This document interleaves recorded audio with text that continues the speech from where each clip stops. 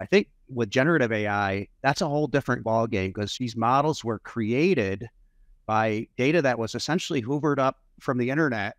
And we don't really know what's in these things with with, with billions and billions of parameters. So I think there is a, a bit of a risk uh, to organizations in understanding. You know, we don't really know how these the data that was used to build uh, many of the large language models that are out there.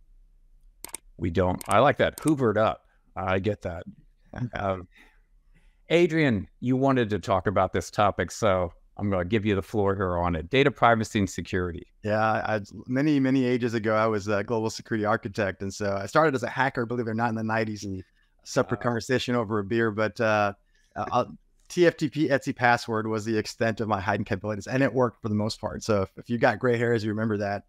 Um, so uh, here's here's I think the challenge today with AI and data privacy and security. It's we have to worry about all the things we always worried about before, but I think now more than ever, transparency and explainability is is front and center. And so when you look at an AI solution, um, a large machine learning solution, for example, you're you need the need to right, not just I want to, the need to to be compliant, to be able to explain where the data came from, what I did with the data that's the first part. And then you have to explain what the engine actually did with the data, especially if you're dealing with PII information. That's really hard. So security, privacy, governance, I think that's the next big challenge is really delivering that explainability. From a data perspective, if I've got data pipelines all over the place and I'm moving and massaging and transforming data all over the place, mm-hmm. it makes that job a little bit harder. Um, so I think that that's a big challenge that all of us are really trying to really get our arms around today. I'd say. I'd say. Now, Sue, um, at IBM with the vast portfolio of products, you must have a pretty heavy privacy and security overlay for to manage all that. I couldn't hear you, uh, William. Do that, please. Well, just what is uh what about it, uh, data privacy and security at IBM with all those products that you have? Uh, we have so many thousands and thousands of products. I think the basics of what Adrian and uh, and David just said hold true. Um, I think one of the things for well a key product, as you guys well know, not that I'm making making a plug for anything, but you know watsonx which is basically you have all your LLMs all in one place. You can just figure out what kind of model you want to build, play in the sandbox. You've got your analytics there, you've got your data connectors there I think your question around privacy and security, I love what Adrian said around explainability. It, explainability also is contingent on, I think, what David perhaps earlier said around what, or maybe it was Sanjay who said, you know, what kinds of data are you going to be looking at and why is that relevant? So before we even go in the privacy security, I could you if you could even take any one vertical, there are a couple of components that I would like to add. One is that any updates, especially in heavily regulated industries, which I mentioned before, you have to be very, very cautious, especially if you're looking at large volumes of data, but you have excluded certain types of members in, in, in when you were training that data. And what I mean by that, in those updates, there are new entrants, new standards, new, um, so to speak, clients that may be included. Is your model compliant to that? Let's it's not just updating a policy it's much more than that right? So and that's both at the national level as well as a global level if you're a global company i think that's one of the things that i know that ibm we, we take a look at very carefully the second thing is i for purposely mentioned uh, watsonx because watsonx it, it basically you can think of it as a marketplace where you've got all these different llms you have your data connectors you figure out what your queries are. So a lot of it is contingent on the client using it, right? To figure out what also helps in what I call self-service analytics or whatever, getting to know more and more about AI.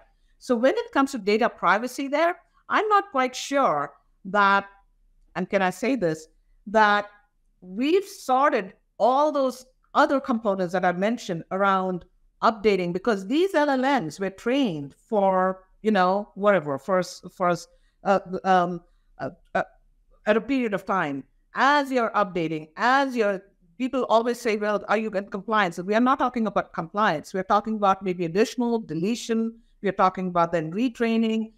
you can have flexible architectures, which, you, which we all have. We have open source data. We have a lot of things. But I'm not quite sure whether we're meeting the standards that we need to meet enterprise wide as well as vertical wise, especially in those where privacy and security matter a little bit more. Um, and there are heavy penalties attached. Great. Thank you, Sue. Um, now, Nik, at Dremio, one of your one of the big themes is for your data lakehouse is to give direct access on everyone to all data. So how do you balance that with privacy and security requirements? Yeah, there's a there's a dirty thing here that I think most of us will probably uh, laugh or not, but nod our heads to. Um, is most organizations don't have full spectrum visibility of all of their data. They just don't, right? Like when I was at Zendesk, we had over 250 SaaS applications powering Zendesk. How do you maintain governance of all of those different, mm. you know, platforms? Let alone each of those has the ability to combine data, enrich data, serve data, and so forth across the ecosystem. So there's uh, one thing I love that I learned from Michelin um, is this phrase of like discipline at the core, flexibility at the edge. Um, so one of the things, especially with Dremio, that I've always pushed folks is, hey, look, if, if you can have or effectively event or pub sub or automatically, in the case of everything you do inside Dremio, everything is tracked in terms of every event with the data asset and the usage or access to that asset.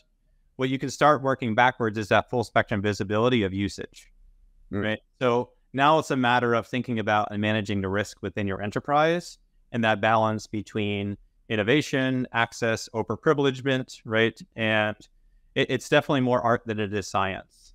Uh, and I think, especially as we even talk about these AI tools, right? AI tools and platforms utilizing them and those the patterns, they don't think about things like sec DevOps, right? They don't think about things like reusability and multi-layered attribution, right? So I think it's it's more of policy never is at the rate of innovation. Uh, we can't wait for policy to catch up to innovation. what we can do is go, can I actually have spectrum visibility of everything that's happening inside? Whether I can govern them or all, we're all catching up. Maintaining that spectrum livability, visibility is always critical. I think interestingly, transparency is the key, like to everything, including more so. I think the need is more now. So just as an example, like uh, one of the customers we are working with, when the system said, you know, this person is using a lot more data than norm, right, out of the box. Mm. The problem was the what they said was that well, that's not the problem that they're using too much data. The problem is they shouldn't have uh, been on the system in the first place, right? And they immediately removed it. So when I look at AI, like and, and the use of more data there, I think the word key word I'm looking for is more responsible. And a lot of this has to come from the platform itself.